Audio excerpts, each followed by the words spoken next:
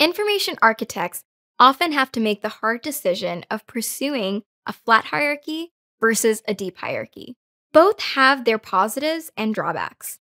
Let's talk about each. In a flat hierarchy structure, the top tier navigation or top level categories include a lot of options, making it immediately visible to users.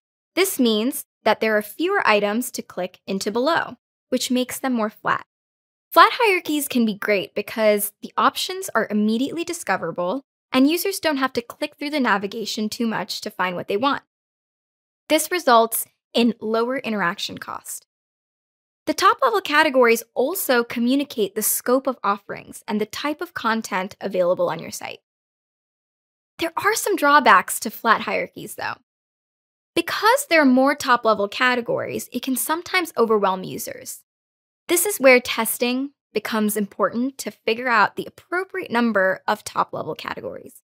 The other risk you run into is that if it feels too crowded for users, they may skip some options make sure you front load the most important categories.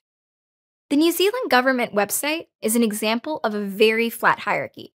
They have 15 top level categories that users can scan pretty easily through. Deep hierarchies are quite different. Instead of having a high number of top level categories, you only have a few. This causes the structure to be deeper with multiple levels and subcategories at each level. Some of the benefits of deep hierarchies are that they appear simpler at the top with fewer categories to read through. But at the same time, a limited number of categories can cause cognitive strain because you're trying to fit a lot more under one category, which sometimes results in vague category names. This makes it hard for users to understand what type of content they can expect from your site. The other challenge is that it's harder to make the full structure visible, which results in more levels of subcategories to go through and a higher interaction cost. Ernst & Young has a very deep hierarchy with five top level categories and two levels of subcategories.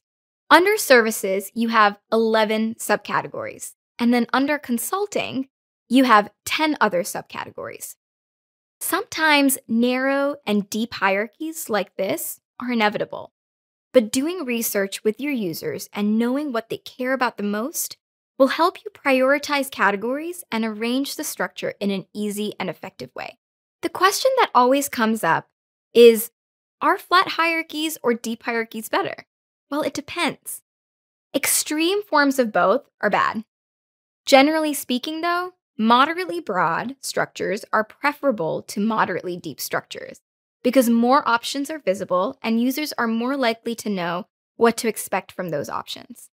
The best way to be sure you have the right balance of categories is to test with your users, understand what their mental models are around your content, and do some digging into what they care about the most when they visit your site.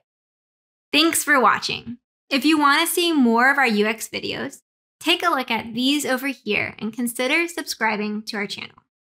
On our website, nngroup.com, you can access our free library of over 2,000 articles. You can also register for one of our UX courses that offer live hands on UX training.